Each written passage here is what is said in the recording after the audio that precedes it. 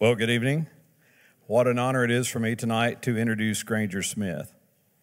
Granger Smith is a Baptist seminarian, former country music star, also known as Earl Dibbles Jr. Granger has released 11 albums and in 2016 had a number one hit, Backroad Song, and in 2017 had a second top 10 hit with If the Boot Fits. Granger is also a best selling author and in 2022 was a featured actor in the movie Moonrise. After 24 years as an award winning, platinum selling country music star, Granger chose to leave the music industry and join the ministry. Granger was born in Dallas, Texas, attended Texas A&M University, and currently lives north of Austin, Texas, with his wife Amber and their children. Please join me in a warm Underwood welcome for Granger Smith.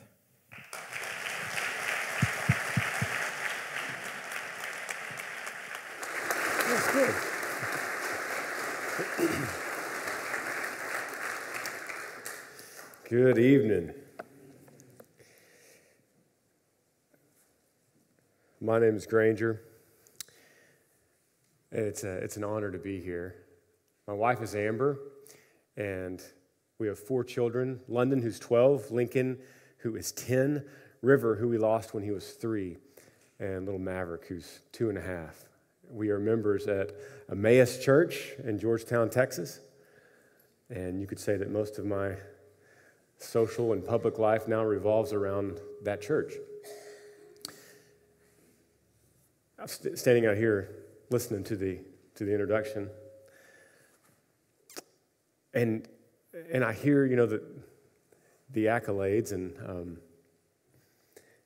and I think it'd be appropriate to, to address that here this evening and propose the question to you well, after hearing that, what happened to Granger Smith? Not me, I, I mean the product, the singer, songwriter, the touring musician. What happened to him? I'll give you three answers here. Number one, the road is tough. I toured for 24 years. Sometimes a man gets burnout. Two, losing my son has caused me to see what is more important in life, and that is spending more time with my family. Number three, I lost my son, and because of that, I lost part of myself. I lost my passion. Now, those answers sound right. And I don't think anyone in this room would blame me if I gave you any of those answers. And I certainly wouldn't if the tables were turned with you. But all three of those answers are wrong and far from the truth. Number one, as, as far as being burnt out, I love music. I, I love writing it, and I love recording it, and performing it. And I love traveling with my road brothers and delivering it to people. And so, no, I never got burnt out. Number two, as far as realizing that spending time with my family is the most important thing, I don't believe that. Spending quality time with my family is very important to me. But by no means does that make it my purpose in life. Instead, time with my family is a byproduct of purpose. And besides, music never took that away from me. I was always purposeful and staying present and focused at home and time blocking on the calendar for time with my wife and kids. And on the contrary, now you could say, I'm probably busier now than I ever was as a, as a touring musician. And I travel much farther. In, in fact, the last 12 months, I've I've worked in Cambodia and Thailand and UAE and Pakistan and Cuba and Israel. And this year, Lord willing, I'll return to most of those places, plus Honduras and India, and Lord willing, even places I, I don't even know about yet. So, no, I didn't leave music so I could spend more time with my family. And then lastly, Maybe it's because after losing my son, I lost part of myself.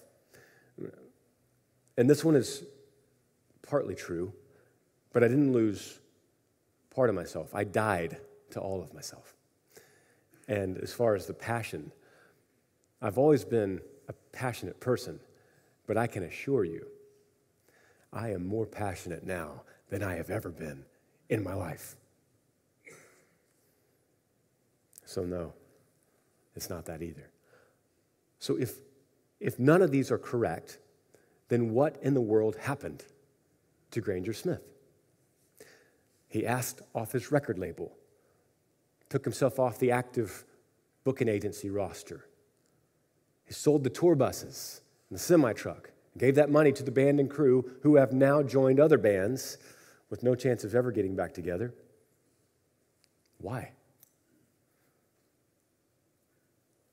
Well, if those three answers are false, then to give up that good life, he must have found something that's better. Now, I'll tell you what I told the crowd on my final show of my farewell tour. In the book of Matthew, chapter 13, Jesus is telling a parable. And he says, The kingdom of heaven is like treasure hidden in a field that a man found and covered up. Then in his joy, he goes and sells all that he has and buys that field. I don't think there's a better answer than that for me. I found a treasure, and to have it is worth giving up everything. The question I want to answer today instead is not what happened to Granger Smith. Maybe better asked, it would be why did this happen? And to that, this evening, I have four points to answer that question. I would have to tell you about a devastating day, a nefarious night, a miracle morning, and a really bright light. Before I tell you those four things, let's pray.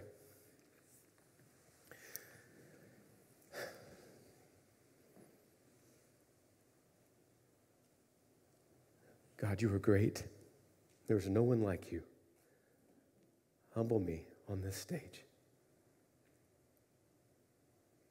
I don't want to be driven by applause or approval of man, even though my flesh so desperately wants the approval of these people on this stage.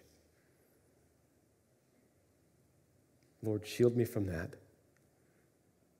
Let it you let you be known. Let you speak through me. Use me as your servant this evening. Do it for Christ's sake. Amen. The devastating day was June 4th, 2019. It was the day before the CMT Music Awards, and I was home in Texas. I had an early flight booked on the 5th to go to Nashville for media and red carpet and the award show and then a label party. Then I would go out and join the band in the Midwest for our typical June fairs and festivals that weekend. But I never made it to any of that. I was in the backyard with my three kids the night of the fourth evening, enjoying my time at home. Beautiful day. June is beautiful in Texas. So we have big blue skies and white puffy clouds, green grass under my bare feet. And I was playing in the backyard with my daughter. She was going through a gymnastics routine that she'd made up. She loved to do that. And I was holding her ankles, and she was doing a handstand. The boys were playing water gun fight next to me. And I remember thinking, wow, soak up this moment. Because these moments won't last forever. And soon after I had that thought, I thought of something else. It's quiet. Where's River? He's our three year old. When you have a three year old, it's not often quiet. Just saw him a few minutes ago, but I looked over my left shoulder, and inside our fenced, gated, and locked pool was River in the middle of the pool face down, floating. I couldn't comprehend that sight. I still can't. Ran through the gate, crashed into the water, took him into my arms, thinking I would flip him over and he would be crying and coughing, scared, and I would say, River, what are you doing? How'd you get in here? Buddy, you know you're not supposed to get in here by yourself. What are you doing? That's not what happened. Instead, he was lifeless, cold. Skin was blue. His eyes were open. His limbs were hanging like a rag doll. I took him to the side of the pool and started CPR. I didn't know how to do that. My daughter, who was with me, came running, screaming. I said, Go get your mama. She was in the house. My wife, Amber, comes running out. I said, I need my phone. I didn't have my phone on me. She turned around and went back to get my phone. We called 911, and dispatch began walking me through on speakerphone CPR. But it took emergency services about 10 minutes to arrive after that because we lived out in the country. By the time they got there, they were able to revive his heartbeat with electric shock. There was a huge relief. We jumped in the car, we chased the ambulance to the hospital. I felt like I dodged a big bullet. When we got to the hospital, with his heartbeat plugged into the breathing machine, he got all his color back. He started looking good. He was warm. It looked like he was sleeping. We felt better. About 24 hours later, the doctor came in and he said, Mr. Smith, I need to tell you there is zero chance of your son ever living again. It's now up to you to tell us when to unplug the machine. Hmm. My life was wrecked. What do you do? What do you do? You know, there's never been a time in my life when I did not call myself a Christian.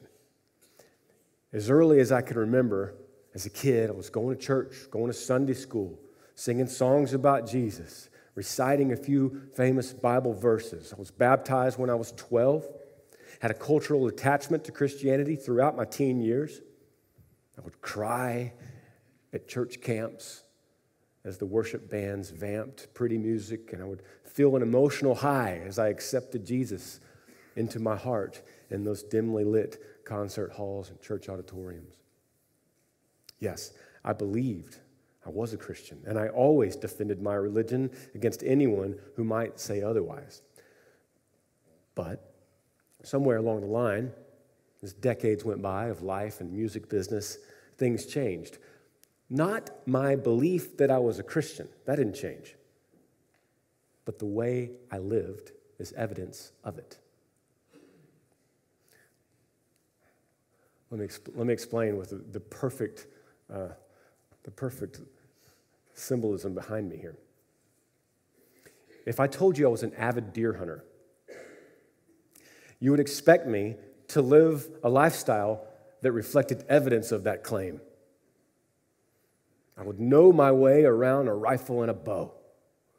I would have a good knowledge about things like scent block and camo, tree stands. I would probably love the taste of venison, all the different ways you can cook it, and the, and the study of the art of field dressing animals and carefully sharpened skinning knives. I would no doubt have some shoulder mounted bucks on my walls and good stories to tell you about how they got there.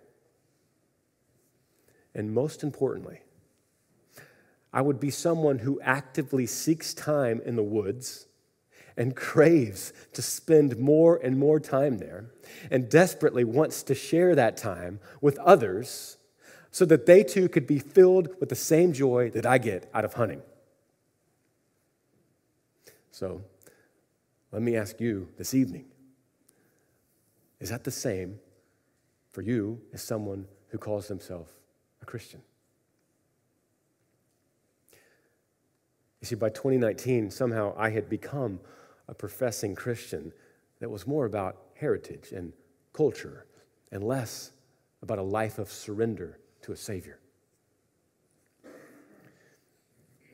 And it's not hard to look back on my life and see how I was slowly conditioned to this. The music business, over time, it rewards the relentless, diligent work of the individual. When things don't go well, fewer people believe in us. And when fewer people believe in us, the more we buckle down and focus inward and develop ourselves by ourselves, for ourselves. And then after a while, when we finally start having some success, people say, Wow, everybody loves you. And we think, Nobody loved me. Nobody believed in me until I worked. I sacrificed. I overcame. I succeeded. And this is not isolated to the music business. I wonder how many men in this room this evening have built a livelihood on that same mentality. Welcome to America, right? That's what we do here. We scratch and claw and squeeze our way up to the table to help ourselves to a piece of that American pie. And so, as a cultural Christian, full of that pie, who was conditioned to overcome adversity by carrying on my own burden. That's exactly how I approached the crippling grief and guilt of failing as a father for losing my son. I took it upon myself. I woke up in the mornings at 5 a.m., meditated by emptying my mind for about 10 minutes, and then I would focus on my breath read a page from a Christian devotional, journaled my thoughts, made a list of things I was grateful for, read or listened to some sort of self help book or a podcast on the way to the gym, worked out, counted my macros and my calories, cut out alcohol, went to therapy, continued touring, helped others process their own loss with my newfound empathy. I built a system Grief would not control me, I would defeat it with self discipline.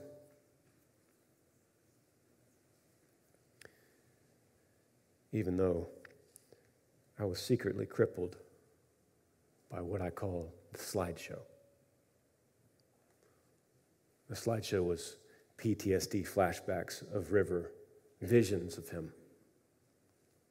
Face down in the pool, lifeless, cold, purple skin, eyes open, pupils rolling around in the back of his head, hair all messed up, CPR in the wet concrete, a pump in his chest, thinking, don't press too hard, you might break his sternum, and then thinking, maybe it's too late to worry about that now. Hearing those sirens screaming through what was a beautiful Texas countryside. Doctor at the hospital says, no chance of survival. My son Lincoln's hand on that Lightning McQueen coffin at his best friend's funeral. That slideshow would pop into my mind randomly at any time in a conversation with someone on the stage, in the, right in the middle of a song, late at night. You know, when a man is drowning, he will do anything to find the air. I used a marijuana vape pen to help mitigate that slideshow. As it turned out, it was pretty much the only way I was able to relax and sleep at night. This was my life for the first six months after losing River. That's how I survived until the nefarious night. The nefarious night was in late December 2019 in Boise, Idaho. We were playing back to back shows in Boise, so we didn't have to travel. It's really nice eh, when you're touring to be able to park the buses in one spot and you don't have to travel in between shows. You actually get a good night's sleep. Things were going really well on this tour. Just, we'd been through a lot. And to see the success of a tour and to be rewarded from all that hard work, all that self discipline, everything I had built at therapy. The, the, you know, I still had bad days, and, but I would have slightly good days, and things were getting better. And then we had a really good show in Boise. And I thought, man, I just, I'm feeling better. I think I'm on the way to recovery. And one of the band guys said, hey, after the show, you want to come over here and just have a few drinks with the guys? I know you haven't done that in a long time, Granger, but you know, we're, we're parked here and, and, there's a spot away from all the fans, a little hole in the wall bar. No one will find us, just us in there. Have a few drinks. I said, Yes, that, that sounds great. Let's do that. So I went and met the guys, had a drink or two. Remember, just whiskey on ice because I didn't want extra calories. Got to stick with the system that I built. Had another drink, we laughed, we told stories, we remembered the old days in the van, all the old shows that we played and the adversity that we had overcome. A few more drinks, a few more drinks, a few more drinks. I thought, all right, guys, I'm going to I'm to head to bed. It's good to see everybody. And remember, our sound guy said, Hey, Granger, it's good to see you like this again, boss. I said, Thank you, buddy. It feels good to, to feel normal. It feels good to feel normal. And I walked out into that frigid, cold Boise air.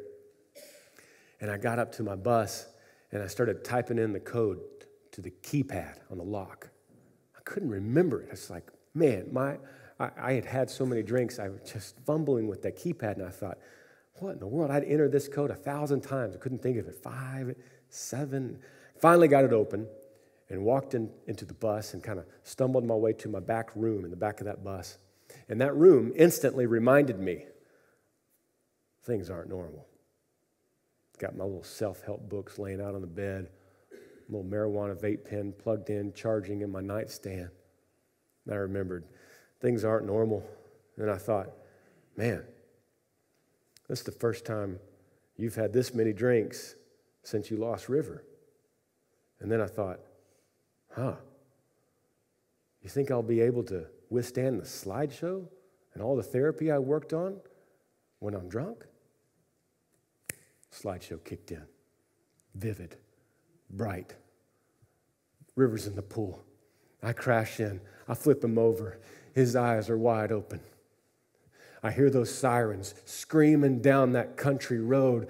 Fire trucks and ambulances all screaming, reminding me of the Father, the failure that I am as they race into our little house. We go to the hospital, and that doctor the doctor with the mustache comes in with a cold face and he says, I'm so sorry to tell you, no chance. I'm going into a panic mode in the back of this bus. Tears are flowing down my face. I grab for that pen, turn it on, and I take it, and it does nothing. Only makes it worse. I'm losing my mind, crying. Tears are hitting the floor. I open the drawer. I pull out what I know is the only thing that could save me good old King James Bible. No, it wasn't that. It was a Glock 9 millimeter. Put it in my mouth. Panic attack. And it was in this moment, it felt like five minutes, it was probably 10 seconds. I noticed something. I noticed, and I, I try to tell this with as much clarity as I can. I thought a thought that wasn't generated by me. There was a thought that came into my mind that I didn't create. And that thought said something like this This is the way. This is the way to peace. This is the way to finally rest. Just squeeze. And I knew. I knew in that moment I'm not alone in this bus. In fact, I don't know how long I've been with this, this other presence with me that had me surrounded, outmanned, outgunned, pinned in the corner, about to kill me, and I had nothing to defend myself with. My worthless things that I had built my worthless self dependence and self discipline, all of it was trash to this enemy. And something in me, a knee jerk reaction, reaching far back to when I was just a kid, maybe because of my praying mother. I cried out the one thing I only knew how to do. I said, Jesus, save me, please. Jesus, please save me. Jesus, please save me. The slideshow stopped. The voice stopped. The thought stopped. I felt peace enough to drop the gun. Fell down to my knees, curled up in the ball with my show clothes on, and sobbed myself to sleep, repeating, just to make sure nothing came back into my mind Jesus, please save me. Jesus, please. Jesus, please save me.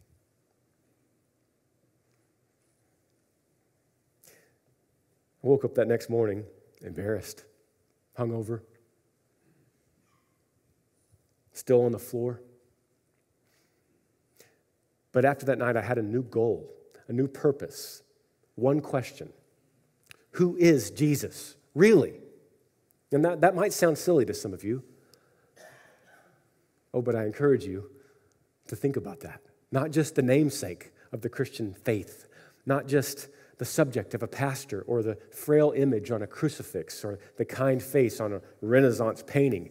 Who is this King of Kings, Lord of Lords, this Alpha and Omega? The one whose name I called out that could silence the most sinister of enemies. Now, finding the answer to this became my new obsession. Everything in my life was about to change. I didn't tell anyone about that nefarious night, not even my wife. It was too personal, too embarrassing, too confusing. So I set out on this new mission alone. My first thought was, I need a preacher. The first name that came to mind was Billy Graham. To be honest, it was the only name that came to mind. I didn't know any others. I found Billy Graham on YouTube, and to my surprise, there was hundreds of Billy Graham sermons on YouTube, and they continue to upload them. Some of them are old black and white, and he has dark hair. Some of them are color, and he has white hair. But he was always in front of a huge crowd. And his messages were comfortably true, uh, they're predictable. They were predictable. I, they were about 20 minutes long each. He would start with the gospel reading out of one of the four gospels. He would then relate some kind of pop music or, or uh, media reference, and then he would tie the gospel together and have an invitation. I watched these over and over and over and over and over. I would brush my teeth and watch them. I would be taking a shower, and there would be my phone sitting in the shower. I was watching it. I just wanted to know. I wanted to know more about the one that saved me on that tour bus because there had to be more than what I thought as a kid, as a teenager. That's who I was leading up to the miracle morning, which was March 1st, 2020. By the time the miracle morning happened to me, that algorithm on YouTube had now kicked up a bunch of pastors and so there's a bunch of faithful teachers teaching me through YouTube.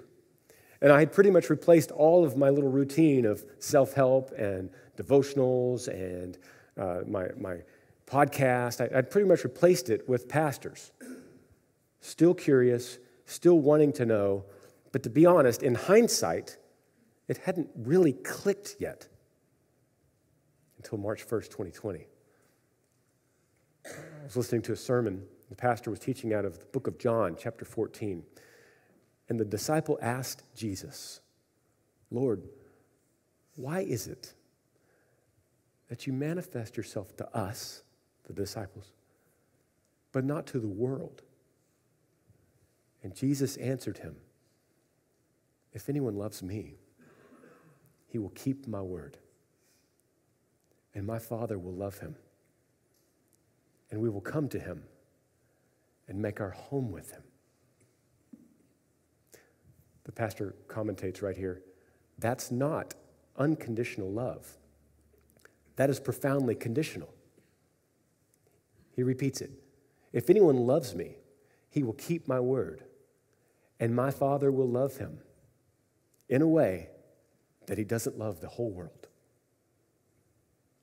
This wrecked me. This absolutely wrecked me. Because on that tour bus, when I called out to him, when he saved me, redeemed me, restored me, forgave me, adopted me as a son. He's saying, the ones that you could tell that love me are marked as the ones who keep my word. You see, not because keeping his word causes him to love us, he loves us first. But you could tell those people that are loved first because those are the people that keep his word. And I thought, right then, I thought, I'm one of them. And I don't know his word. I don't know it. And suddenly, all I wanted to do was know it. How was I going to keep a word? Lord, you saved me. You loved me. I'm one of yours. And yet I don't know your word. How do I know it all? I went home and I told my wife, Amber, I said, babe, we got to know his word. She was like, okay. I said, we've got to read our Bibles. So we threw away the devotionals, we sidelined them, we took our Bibles out, knocked the dust off of them, and we started reading. Started in Matthew 1. I thought that was a pretty good place to start. Birth of Christ. Made it all the way to Revelation. But then Jesus said that Moses and the prophets were talking about him, so I had to go to Genesis and start reading through that as well, because I didn't want to miss any of his word if I was going to keep it. My keeping God's word was not earning my way to salvation. Instead, it was an overflow of gratitude from the salvation that was already earned for me. I began to understand the analogy of the deer hunter.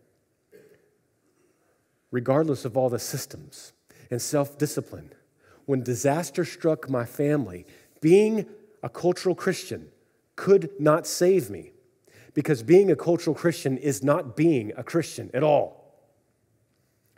Being a cultural Christian is not being a Christian at all. Do you see? Being a deer hunter that never spends time in the woods is not a deer hunter. He just says that he is. Real deer hunters are marked as those who spend time in the woods. And Christians are marked as those who keep the Word of God. As I spent more and more time reading the Bible, that question was being answered for me. That question that asked, Who is Jesus? And let me tell you, believers here this evening, everything that you do, in your coming, in your going, in your joy, in your suffering, in your worship revolves around knowing who He is. And you can only really know who He is as He has revealed Himself through His Word. And if you don't mind, I would love to pause my story right here and tell you just a fraction of who the Bible says that He is. May I do that? The Bible says, by him, all things were created in heaven and on earth, visible and invisible, whether thrones or dominions or rulers or authorities. All things were created through him and for him, and he is before all things, and in him all things hold together. And he is the head of the body, the church. He is the beginning, the firstborn from the dead, that in everything he might be preeminent.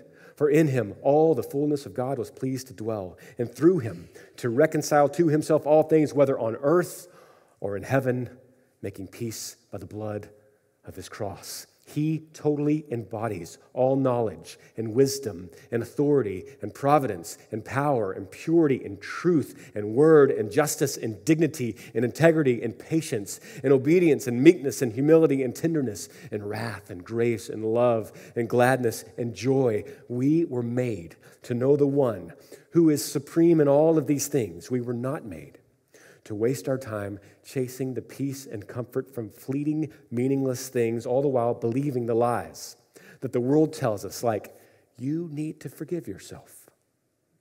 or you need to help yourself, or that anything from yourself that you've accomplished is actually from yourself at all.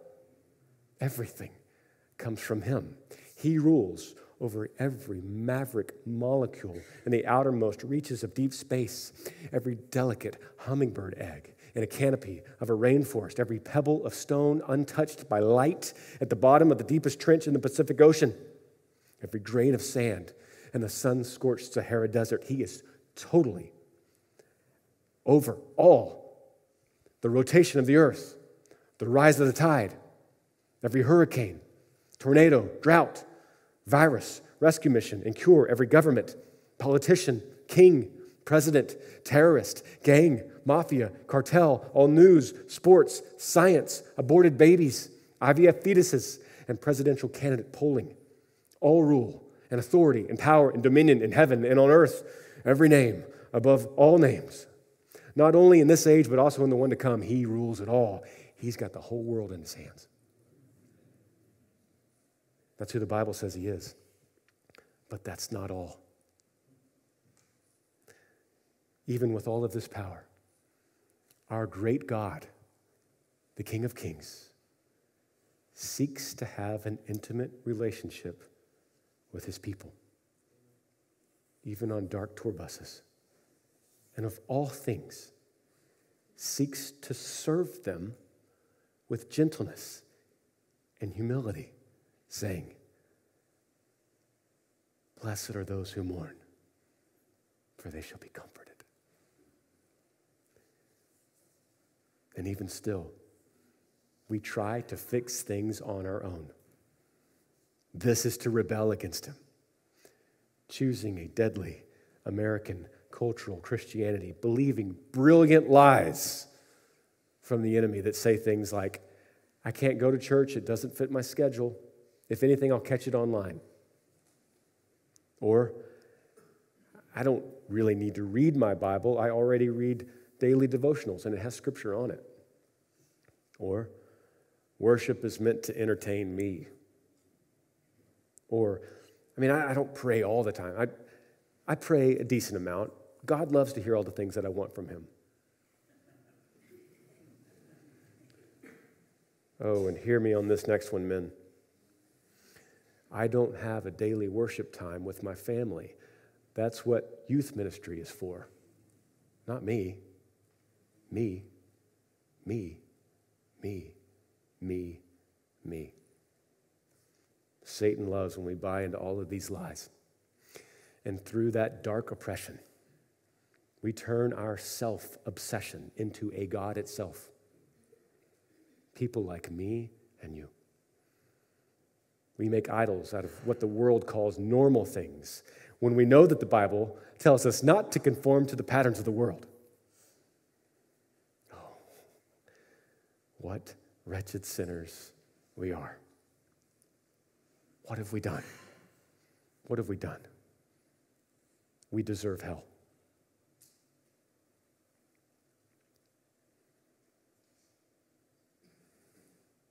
But God, in his loving mercy. Because of who he is, entered his own creation as a man to redeem sinners and draw them to himself, even on dark tour buses. Jesus, in obedience, glorified the Father perfectly in a way that we did not, praised the Father perfectly in a way that we would not, and through his death on the cross, and resurrection from the grave, he satisfied the wrath of God in a way that we could not. That is who the Bible says he is the way, the truth, the life, the gate, the Savior, the shepherd, calling for his sheep who hear his voice, bidding them to come touch his sides, feel the holes in his hands from the nails that our sin drove into him, saying, Do you believe me now? That is who the Bible says he is. The one that knows his people as those that have turned from their sin and put their faith in him. To them, he says, Do not fear, for I have redeemed you. I have called you by name. You are mine. That is who the Bible says he is the treasure, hidden in a field that a man found and covered up. Then, in his joy, he goes and sells all that he has and buys that field. Oh, is that you? Are you sold out for the treasure, for Jesus? Or are you the guy that says he's the hunter and doesn't even go into the woods? I wonder if I've completely answered the question yet. Why did this happen to Granger Smith? One more point here a devastating day, a nefarious night, a miracle morning, and now a really bright light. I'll finish with this. Jesus said, I am the light of the world. And if Jesus is the Word, like John 1 says, in the beginning was the Word, and the Word was with God, and the Word was God. Then we can understand Psalm 119 when it says, The unfolding of your Word gives light. And your Word is a light to my feet and a light to my path.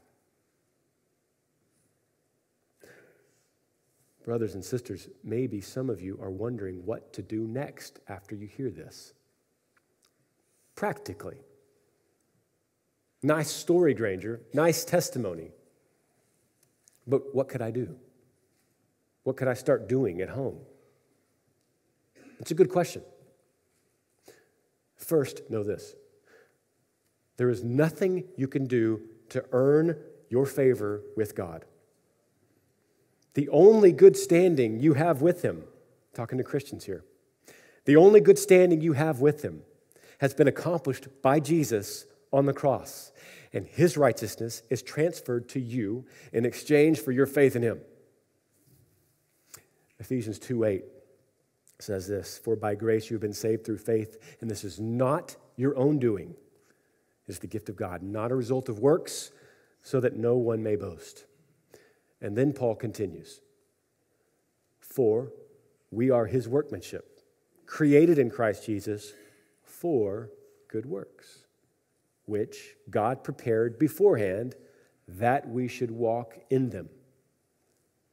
So, brothers and sisters, your next step in response to the gospel, because of the ability made available to you through Christ, is to walk in good works. But how do you do that? That seems pretty broad. What does that even mean? That's why I love 2 Timothy 3:16. All scripture is breathed out by God and profitable for teaching, for reproof, for correction, and for training in righteousness, that the man of God may be complete, equipped for every good work. Let me read that again. All scripture is breathed out by God and profitable for teaching, for reproof, for correction, and for training in righteousness, that the man of God may be complete, equipped for every good work, if you desire to be a complete man of God. And I know we have women here too. I didn't expect that. I'm speaking to you too, brethren. If you desire to be complete, equipped for every good work which God has prepared beforehand for you to walk in, then you need to know that the Bible, the unfolding of the Word, which is the light that awakened me, the lamp to my feet, is also God's way to equip you too. As old fashioned as it might sound, read it, listen to it, pray it, memorize it, sing it, discuss it, wrestle with it, teach it, sit under faithful preaching of it, and don't replace it with other things of this world. Start tomorrow. Start tonight. Get a daily reading plan of some sort. Start small if you're new to it. Aim low. Make it one page, one chapter, one paragraph, but don't skip it. Join other people, other brothers and sisters for accountability. Listen to Deuteronomy 11 when it says, You shall therefore lay up these words of mine, these scriptures in your heart and in your soul. And you shall bind them as a sign on your hand, and they shall be as frontlets between your eyes. You shall teach them to your children, talking of them when you are sitting in your house, and when you're walking by the way, and when you lie down, and when you rise. You shall write them on your doorpost and your house and on your gates. If you want a practical step in growing your faith, not a checklist for salvation but in order to arm yourself, Christian, against the problems of the world, and they are coming if they're not with you already. To grow spiritually into the man or woman that Jesus already paid the price for you to be, do this. Do it. Keep his word. Just like Jesus said in John 14 the fact that wrecked me and in order to keep it, start by reading it. And if you don't, the Bible says your heart will be deceived and you will turn aside and serve other gods and worship them, whatever idols those might be. In other words, if you don't, I fear that you might be the deer hunter who never goes into the woods. I want to say something next here. And as I was preparing for this message this week, I had to really pray over this. Because, Lord, I don't want to say anything that is not from you or that is wrong in any way. But after much prayer and consideration, I feel like what I'm about to tell you is true. There is little chance for meaningful prayer from a man not reading his Bible. There is little chance for meaningful worship from a man not reading his Bible. And there is little chance for a meaningful relationship with Jesus for a man not reading his Bible. And if that's the case, why would you not do it every single day? Why did this happen to Granger Smith? Because Hebrews 4 says, the Word of God, the Bible, is living and active, sharper than any two edged sword, piercing to the division of soul and of spirit, of joints and of marrow, and discerning the thoughts and intentions of the heart. Brothers and sisters, stand along the psalmist in Psalm 119, declaring, How can a young man keep his way pure? By guarding it according to your word. With my whole heart I seek you. Let me not wander from your commandments. I have stored up in your heart, in your word, in my heart, that I might not sin against you. Blessed are you, O Lord. Teach me your statutes. With my lips I declare all the rules of your mouth in the way of your testimonies. I delight as much as in all riches. I will meditate on your precepts and fix my eyes on your ways. I will delight in your statutes. I will not forget your word.